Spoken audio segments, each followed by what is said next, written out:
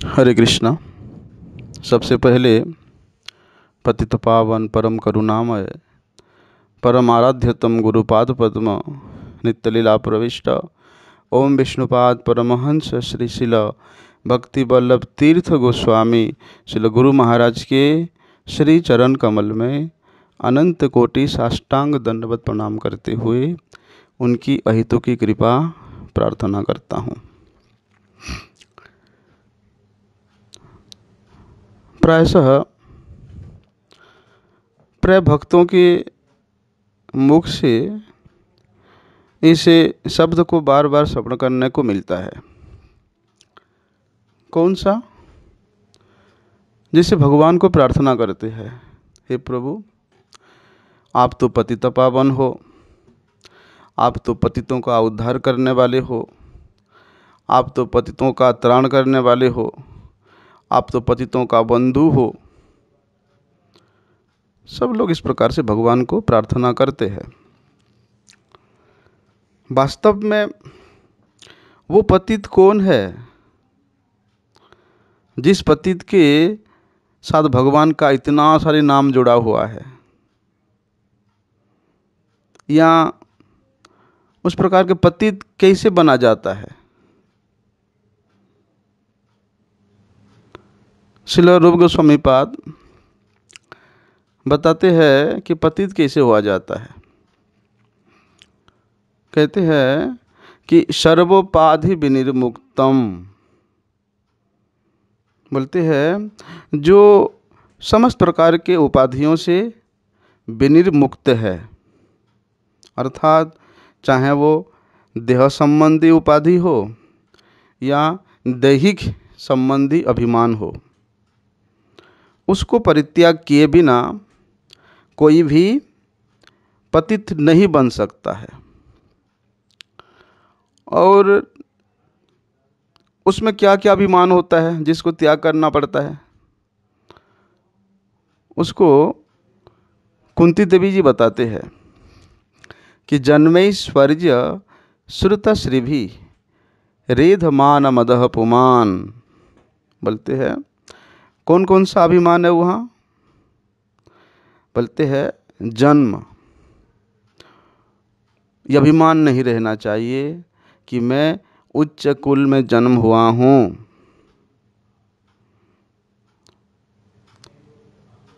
ऐश्वर्य। मेरे पास इतनी सारी ऐश्वर्य है, धन संपत्ति है।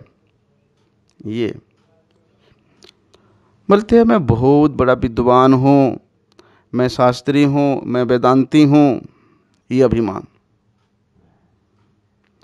और बोलते मैं बहुत सुंदर हूँ, देखने में मैं सबसे अच्छा हूँ, सुंदर हूँ, गोरा हूँ। इस प्रकार का अभिमान। और बोलते देह और दैहिक आदि जो अभिमान है, मैं डॉक्टर हूँ, मैं इंजीनियर हूँ, मैं साइंटिस्ट हूँ मैं अमुक हूँ, मैं डिमक हूँ। बोलते, ये समस्त प्रकार के अभिमान को जब तक त्याग नहीं किया जाता है, तब तक कोई पतित नहीं बन सकता है। इसलिए तो श्रीमन महाप्रभु जी समस्त जीवों के स्वरूप को बताते हैं। कौन सा? कि न हम विप्रो न च नरपति वैश्यो न शूद्र। न हम वर्णी न च गृहपति बनस्तो यतिर्वा। किंतु प्रद्योन निखिल परमानंद पूर्णामृताब्धे गोपी भत्रिहु पदकमलयो दास अनुदास अनुदास देखो, समस्त प्रकार के उपाधि से विनिर्मुक्त कर दिया श्रीमन महाप्रभु जी ने यहाँ कि ना मैं ब्राह्मण हूँ ना मैं क्षत्रिय हूँ ना मैं वैश्य हूँ ना मैं शूद्र हूँ ना मैं ब्रह्मचारी हूँ ना मैं गृहस्थ हूँ ना मैं वानप्रस्थ हूँ ना मैं सन्यासी हूँ ना मैं राजा हूँ ना मैं प्रजा हूँ मैं तो केवल और केवल मात्र गोपी भर्तृहु पद कमल यो दास अनुदास अनुदास बोलते हैं वही गोपियों के भरण पोषण करने वाले जो श्याम सुंदर है, उनके दासों के दासों के दासों के दास हूँ मैं। ऐसी अवस्था में पतित हुआ जाता है और बोलते हैं, जब तक इस प्रकार के पतित नहीं बन पाते हो या पतित की अवस्था को प्राप्त नहीं कर पाते हो, तब तक उस पतित पावन का संधान पाना अत्यंत दुष्कर है। श्री नरोत्तम दास ठाकुर जी एक जगह में बताते हैं कि हे भगवान, आपके नाम तो पतित पावन है और पतित पावन के नाम से आप अपने नाम का महिमा ढिंडोरा पिटवा रहे हो जगत में। विघोषित कर रहे हो। जैसे कि पतित पावन नाम घोषणा तुम्हार श्याम। आपने तो ये घोषणा किया है संसार में कि मेरा नाम ही पतितों को पावन करने वाला है, पतित पावन है। तो मैं तो नितांत पतित हूँ और शायद मेरे से बड़ा पतित इस त्रिभुवन में और कोई भी नहीं होगा। अगर अगर आप मेरे जैसे पतित का उपेक्षा करोगे तो तुम्हें फिर उस पति तपावन नाम में तुम्हारे कलंक आ जाएगा। क्यों? क्योंकि देखिए, मेरे जैसा पतित अधम तुमको ये सारा संसार में खोजने पर भी नहीं मिलेगा। अच्छा चलो, भगवान कहते हैं, कोई बात नहीं। अगर तुमको उपेक्षा करने से मेरी पतित पावन नाम को कलंग लगेगा तो लगने दो। इसे तुम्हें क्या प्रॉब्लम है? तो कहते हैं, ठाकुर माँ से देखो उपेक्षिले नाही मोर गति। अगर तुमने इस प्रकार से तुम्हारे सामने देखते हुए कि मैं असमर्थ हूँ और शरणागत हूँ और पतित भी हूँ और दीन भी हूँ, अधम भी हूँ, ये सब जानते सुनते हुए भी अगर तुम मेरे उपेक्षा करोगे तो मुझे कोई प्रॉब्लम नहीं है। प्रॉब्लम तो ये है कि मेरा और दूसरा कोई गति है ही नहीं आपके सिवा। आपके आश्रय को छोड़ करके मेरा और कहीं आश्रय लेने का कोई ताक ही नहीं है। क्योंकि देखो, हे नाथ, हे कृष्ण, तुम ही ने ही तो ये घोषणा किया है कि नानमा मकारी बहुदा निज सर्व शक्ति स्तत्रार्पित नियमित स्मरण न काल। कि तुम्हारे ये जो कृष्ण, गोविंद इत्यादि जो नाम है, ये नाम तो पति तपावन है। और ये इस समय संसार में बोलते विघोषित है। और मैं अधम पतित हूँ। तुम्हारे उसी पतित पावन नाम का मैं आश्रय लिए हुए हूँ। और तुम तो अनन्य गति हो। और अनन्य गति होने के नाते तुम मेरी उपेक्षा नहीं कर सकते हो। वास्तव में देखा जाए तो भगवान श्री कृष्ण चलो मान लेते हैं कि उसका उपेक्षा कर भी देते हैं, लेकिन भगवान ने जो संकल्प लेके रखा है, मैं मेरे नाम में समस्त प्रकार की शक्ति को अर्पण करके रखा हूँ। और जो भी मेरे नाम के शरण में आता है, उसका मैं त्राण करता हूँ। चलो प्रभु, आप स्वयं और आपके नाम में किसी प्रकार का भेद नहीं है, मैं मानता हूँ। फिर भी अगर आप मुझे उपेक्षा करते हो तो आपके नाम का जो गुण है, आपसे भी अधिक है। आपके नामों में जो गुण है, जो शक्ति है, आपसे भी सर्वाधिक उसका अभिव्यक्ति होती है।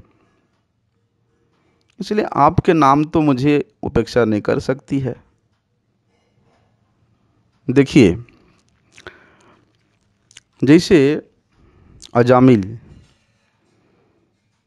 कितना बड़ा पापी था। पति का तो कोई वहाँ प्रश्न नहीं उठता है, लेकिन कितना बड़ा पापी था। उसने अपने पुत्र का नाम नारायण का उच्चारण किया। और जैसे ही नारायण का नाम उच्चारण किया, बोलते हैं वही अजामिल के पास में विष्णु दूतों का आगमन होता है। और वहाँ पर इस जमदूतों का भी वहाँ क्लास लग जाता है। और जमदूतों के कवल से अजामिल की भी रक्षा भी होता है। और यथा समय में अजामिल को बैकुंठ भी ले आना होता है। ये सारे प्रसंग श्रीमद् भागवत में बहुत सुंदर रूप से वर्णन है। तो वहाँ पर विष्णु दूतों ने यमदूतों को बताते हैं, क्या? कि तेन सुराप मित्रधृक ब्रह्मा गुरुतल्पगः, स्त्रीराज पितृगोहंता ये च पातकिनो परे सर्वेषाम् अपि अभगवताम इदम एव सुनिष्कृतम। नाम व्याहरणम विष्णुर यस्तत् विषयामति। कहते हैं वहाँ पर विष्णु दूतों ने कि जो चोर है स्वनस्तई और मद्यपान करने वाला है, मित्रद्रोही है, ब्रह्मघाती है, गुरुपत्नगामी है, और स्त्री, राजा और पिता और गाय का भी जो हत्या करने वाला, हत्यारा है, और तो और जितने भी बड़ा बड़ा पाप है उन सारी बड़े बड़े पातकों का जो महापातकी है, या अति पातकी है बोलते वे सभी पातक पातक, पाप का अधिकारी भी भगवान विष्णु का नाम कीर्तन करता है। तो वो समस्त प्रकार के पापों से मुक्त हो जाता है। या नाम कीर्तन रूपी जो उपाय है उस पापों से, पापों का प्रायश्चित करने के लिए। तो शायद भगवान के नाम को छोड़ करके इससे श्रेष्ठ और परम पवित्र प्रायश्चित और क्या हो सकता है? क्योंकि जो भगवान के नाम का उच्चारण करते हैं ना, वही उच्चारण करने वाला व्यक्ति भगवान की आत्मीय, भगवान की उसमें आत्मीय बुद्धि हो जाती है। ऐसा। इसलिए विशेष रूप से घर में भी देखने को मिलता है कि जो घर का नाम होता है ना, घर का नाम लेकर के जब कोई घर का सदस्य बुलाता है तो उसके बुलाने में आत्मीयता रहती है। उसमें अपनापन रहता है, उसमें प्यार रहता है। उसी प्रकार भगवान के भी ये जो नाम है, कृष्ण, गोविंद, हरे मुरारी, जो ये नामों का उच्चारण करता है, बोलते उस उच्चारण करने वाले के प्रति भगवान की आत्मीय बुद्धि हो जाती है। बोलने का मतलब ये है,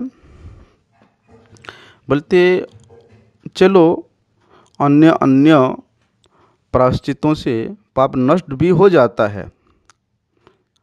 लेकिन पापी का हृदय उतना शोधित नहीं होता है।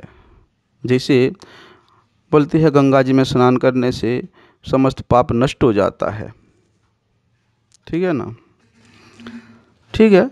शास्त्रों की वाक्य है, संतों की उक्ति है, ठीक है ये। लेकिन पाप करने का जो प्रवृत्ति है, उस प्रवृत्ति उसके हृदय में रह जाता है। परिपूर्ण रूप से उस पापी का हृदय उतना शोधित नहीं हो पाता, जिसके कारण उसके चित्त में भगवान स्मृति या भगवान के नाम के उच्चारण, भगवत नाम कीर्तन करने का कोई भी स्मृति नहीं जागृत होती है। बरम अगर अन्य किसी प्रायश्चित से उसका पाप खत्म भी हो जाता है तो अभिमान आ जाता है कि मैं निष्पाप हो गया हूँ, मैं निष्पाप हूँ। इस प्रकार का अभिमान भी वहाँ उदित होता है। लेकिन एक सोचने वाली बात है। भगवान के नाम कीर्तन रूपी जो प्रायश्चित है, इसका महिमा तो अनंत अनंत है ही। लेकिन कहते हैं कि ये भगवान के नाम के आभास मात्र से ही बोलते अनंत महापात्र उस प्रकार से प्रज्वलित हो जाते हैं, जल के राग हो जाते हैं। जैसे कोई अग्नि में रुई का ढेर सारे रुई डाल दे तो वो तत्क्षणात भस्मत हो जाता है, कोई समय भी नहीं लगता। बोलते उसी प्रकार भगवान के नाम के आभास मात्र से ही बोलते अनंत जन्म का जो महापातक उसके हृदय में एकत्रित हुआ है, वो तत्क्षणात भस्म हो जाता है। और केवल पाप भस्म नहीं होता है। बोलते हैं, उस पाप वासना से कारण उसके चित्त जो मलिन हुआ है, वो भी परिशोधित हो जाता है। कारण ये है कि भगवान के नाम के आभास से नाम उच्चारण करने वाले के हृदय में भगवान विष्णु का अनुसंधान अगर नहीं भी होता है। लेकिन मैं भगवान का नाम ले रहा हूँ। इस प्रकार का उसके अंदर किस प्रकार का मनोवृत्ति भी नहीं है। जैसे कि अजामिल, उसका कोई उद्देश्य नहीं था कि भगवान को बुलाने का। उसके पुत्र का नाम था नारायण, इसलिए उसने पुत्र को नारायण कह करके पुकारा था। लेकिन उसका फल क्या हुआ था आपने देखा। तो अन्य संकेत जो नामाभास होता है, उसी से भी बोलते भगवान को उसकी स्मरण होती है, जो उनके नाम का उच्चारण इस प्रकार आभास मात्र से भी करता है, या अन्य किसी वस्तु या व्यक्ति को संकेत करके भी भगवान का नाम का उच्चारण करता है। और भगवान के स्मरण में तो आती है और भगवान ये यहाँ तक मान लेते हैं कि ये मेरा दास है। और मेरे दास होने के कारण ये मेरे द्वारा ही रक्षणीय है। तो इस प्रकार का मति भगवान के हृदय में भी जागृत होती है। इसलिए भगवान के नाम में जो पतित पावनता गुण या शक्ति है, वो और कहीं भी नहीं मिल सकता। कहीं भी संभव ही नहीं हो सकता। अच्छा चलो मान लेते हैं कि भगवान कह रहे हैं, जो नाम का ये जो गुण है, पतित पावनता आदि गुण, ये तो जो निरपराध होकर भगवान का नाम लेते हैं, उनके प्रति प्रकाशित होता है। अपराधी के लिए उतने नहीं होता है। अपराधी के प्रति तो नाम उतना प्रसन्नता नहीं रहती। तो इसके उत्तर में वहाँ नरोत्तम दास ठाकुर महाशय कहते हैं, क्या कि यदि हो अपराधी, तथापि हो तुमि गति, सत्य सत्य, जेनो सतिरपति। देखो वहाँ पर भगवान प्रेम के मूर्ति है। और प्रेम के मूर्ति भगवान भी है और भक्त भी है। लेकिन वहाँ इतना दीनता है, नरोत्तम दास ठाकुर के हृदय में ये तो दीनता ही तो है। क्या वो अपराधी है? क्या वो उतना अपराध से युक्त है, ऐसी बात नहीं है। लेकिन ठाकुर महाशय वहाँ पर अपने आप को अपराधी समझ करके इसलिए बोल रहे हैं। क्या बोल रहे हैं? कि, हे प्रभु, देखो, यदि आप कहते हो कि मैं अपराधी हूँ, अगर मैं अपराधी हूँ तो भी तुम ही मेरे एकमात्र गति हो। अगर तुम मेरे अपराध को क्षमा नहीं करोगे तो मेरा, तुम्हारे सिवा और दूसरा कोई उपाय नहीं है। किस प्रकार? जैसे उस पतिव्रता स्त्री, जिसका एकमात्र गति उसका पति ही है। तो इस प्रकार के जो सती रमणी, सती पतिव्रती है, वो अपने पति के चरण में अपराध भी करती है तो पति उसे अवश्य क्षमा कर देता है। और कहते क्षमा भी नहीं करेगा तो वह पतिव्रता है, और किसके पास जाएगी? उसका तो और कोई गति नहीं है पति के सिवा। बोलने का मतलब ये है कि पतिव्रता स्त्री, सती रमणी स्त्री, अगर पति के चरणों में कोई अपराध करती है तो पति उसको अवश्य क्षमा कर देता है। लेकिन एक सोचने वाली बात है, अगर पत्नी अव्यभिचारिणी हो तो पति उसको कभी भी क्षमा नहीं करता है भरम उसका परित्याग ही कर देता है। बोलते ठीक, यही बात भगवान श्री कृष्ण के एक निष्ठ अनन्य भक्तों के बाद भी है। भगवान श्री हरि के ब्रजेंद्र नंदन श्री कृष्ण आदि जितने भी स्वरूप है, उन स्वरूप के प्रति जो निष्ठावान है, वो अगर कभी भी अन्य देवी या देवताओं का उपासना नहीं करते,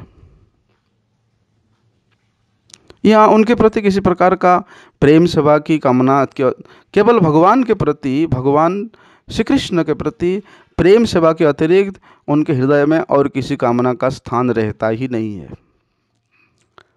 चलो मान लो, अगर इस प्रकार के भी भक्त अगर दैवी योग से या असत संघ के प्रभाव से या असत संस्कार बस भगवान श्री हरि के चरणों में किसी प्रकार का अपराध भी कर बैठता है तो भगवान उसको अवश्य क्षमा कर देते हैं। परंतु जो अन्य देवों का उपासना करता है या भगवान श्री कृष्ण के सेवा को छोड़ करके अन्य किसी वस्तु, व्यक्ति देव देवियों का कामना हृदय में उसके विद्यमान रहता है। तो श्रीहरि बोलते, उस अव्यभिचारिणी स्त्री की तरह उसको भी परित्याग कर देते हैं। बोलते है, भगवान में मन लगाकर उनकी सभा में अगर नियुक्त होता है तो यदि किसी से कोई अपराध भी होता है तो भगवान उसको क्षमा कर देते हैं। लेकिन, बोलते भगवान के इस प्रकार भजन साधन सेवा में लगे रहने के बावजूद भी अगर कोई पराई स्त्री के प्रति आसक्त होता है, व्यभिचार करता है तो भगवान उसके अपराध को क्षमा नहीं करते। और उसकी सेवा भी ग्रहण नहीं करते हैं। हाँ ऐसा हो सकता है। उसके उस असत संग का प्रबलता हो या दुष्ट संगार, संस्कार बस के कारण हो, यदि किसी अनन्य भजन कर, करने वाले आसक्त, व्यक्ति के प्रति उसका आसक्ति उत्पन्न हो जाता है। तो वही अनन्य भजन करने वाला व्यक्ति ही उसको ये परस्त्री आसक्ति से छुड़ा सकता है। और इस प्रकार अगर वो परस्त्री आसक्ति से छूट करके, अनुतप्त होकर के, पश्चाताप करके एकांत रूप से भगवान श्री हरि के चरणों में भावापन्न होकर के शरणापन्न हो जाता है तो भगवान श्री हरि उस पर प्रसन्न होकर के उसको क्षमा कर देते हैं। इसलिए तो श्रीमद् भगवद गीता में भगवान यही बात कहते हैं क्षिप्रम भवती धर्मात्मा शस्वत शांति निगछति कौंती अप्रति जाने ही न में भक्त प्रणश्यति। हरे कृष्ण।